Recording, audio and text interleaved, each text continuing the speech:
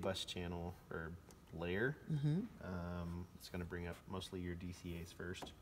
If you scroll over, you'll see the yellow ones start showing up. This is your aux send masters. Got it. So it's like your main mix for your auxiliary sends. There's three of them that are designated for monitors. Make sure that those are up and at zero, um, kind of first and foremost.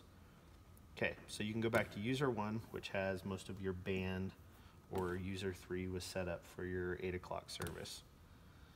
Over here, on this far side, um, there's bank one, kind of these user assignables.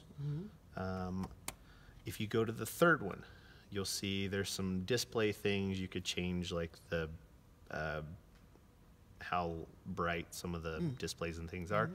But you notice this middle row of them, which is this middle row of buttons, is monitor one, two, three. So if I hit number one button, you'll notice these jump to Ah. sends on faders for these instruments.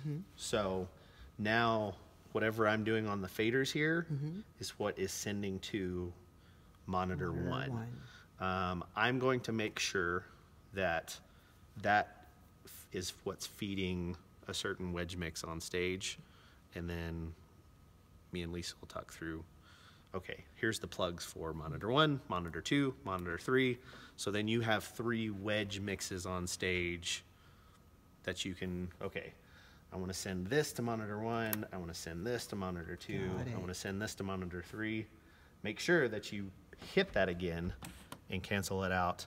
You notice all the faders went back to just their normal colors that we've designated before. Um, yeah, that should be it. Okay.